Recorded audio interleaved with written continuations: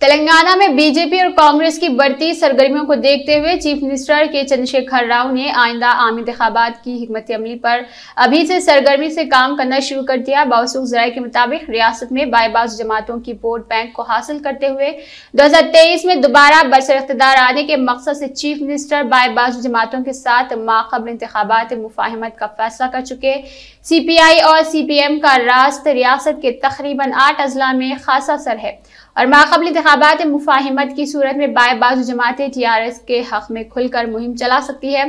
तेलंगाना में बीजेपी की फिरका परस्त सियासत से निमटने में सेक्युलर वोट बैंक को मुतहद करना ज़रूरी होगा। जराये के मुताबिक इंतबी हमत अमली के माहिर प्रशांत किशोर ने के सी आर को बाए बाजू जमातों से कबल इलेक्शन मुफाहमत का मशवरा दिया ताकि मुखालिफ बीजेपी वोटों को तकसीम से रोका जाए। बाए बाजू की जमातों ने रियासत के तमाम जमनी चुनाव में टी आर एस की तायद की है। दो हज़ार चौदह में बस सर इकतदार आने के बाद टीआरएस और इससे पहली मरतबा माखबल इंतबात मुफाहमत पर गौर कर रही।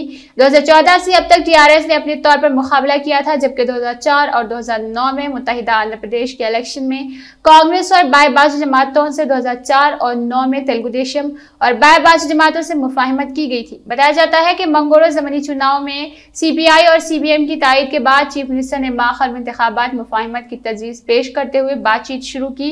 पार्टी कायदीन के अलावा बाएँ बाजू कायदीन से भी इस सिलसिले में मुशावरत की गई।